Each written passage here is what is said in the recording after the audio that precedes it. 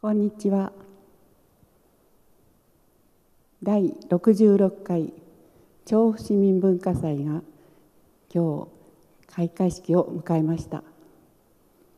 今日から1か月間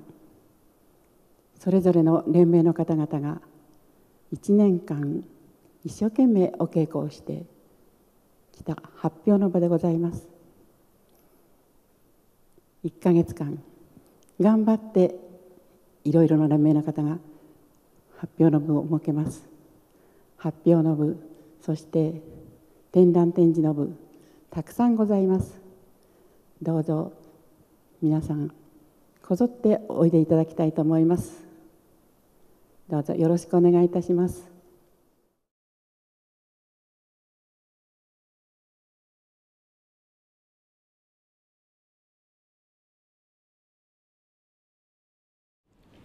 第66回調布市民文化祭国際共通語エスペラント展にようこそ。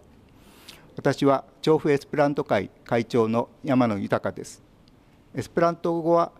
1887年ポーランドのザメホフ博士が一人で作った言葉ですが今では世界中で100万人とも200万人とも言われる方が勉強しています。どうぞ皆さんも勉強しましょう。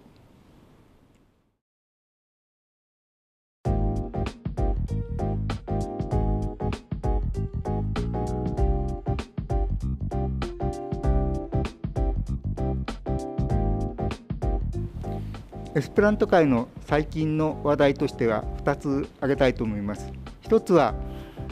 アニメゲームから始まった勉強し始めた若い人がたくさんいるということです。琴の葉アムリラートという美少女のアニメみたいな感じですけどそこに出てくる高校生が異世界の方に紛れ込んでしまってその異世界で喋られている言葉がここではユリアーモって言われてますけどエスペラント語で、うん、そのエスペラント語を勉強しながらゲームが進行しているという形です。それからもう一つはコロナの関係で集まっての会合ができなくなったということであの世界大会日本大会いろんな大会が、えー、オンラインの形で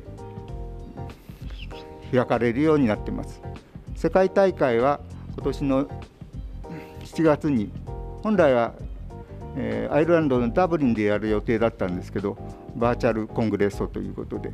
えー、全部オンラインになりましてこの再開開始の時に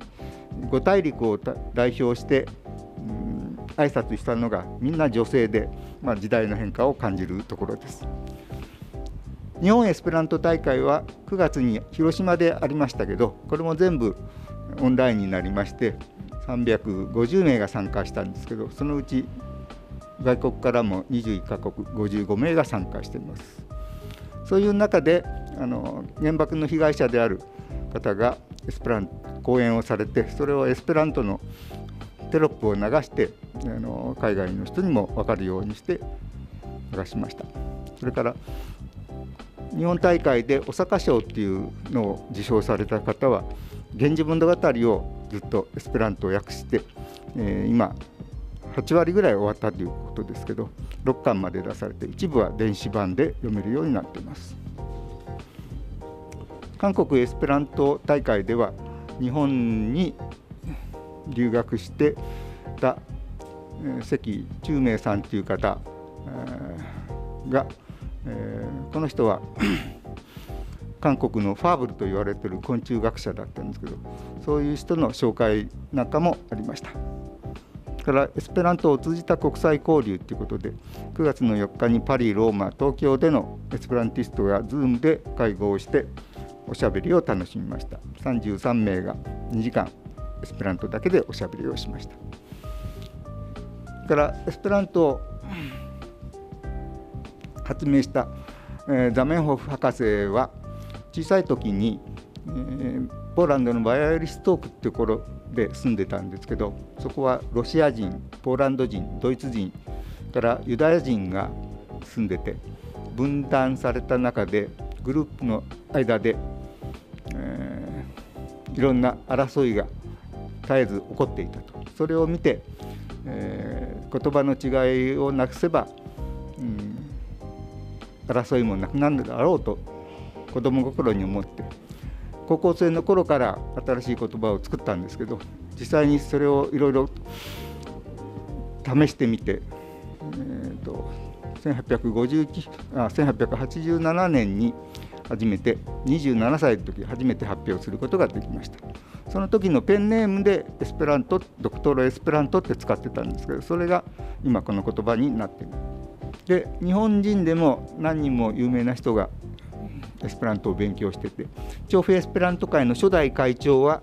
あの佐々木孝丸さんですけど佐々木さんは「起て飢えたる者よ」というインターナショナルを、えー、翻訳した人としても有名です。彼はあのエスペラントを勉強することはこの上もなく楽しい言葉であるということを言ってます。から日本人が好きな宮沢賢治もうん少しエスペラントを勉強して詩を発表したりとかをしてるんですけど、えー、日本人のエスペランティストは宮沢賢治が大好きでたくさんの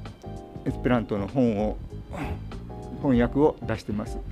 えー、銀河鉄道の夜とかそういうのが出てます。から調布にゆかりのある武者小路実篤もと宮崎に新しき村を作った時に最初の頃はそこの中で、うん、休日なんかにエスペラントの講習会を、えー、木村壮太さんというのがやってたりしていました彼自身は自分では勉強しなかったみたいですけどであとエスペラントの彼の小説もいくつかエスペラントを翻訳されて出ています。で今ではエスペラントを勉強する場合にあのいろんなネット上にたくさん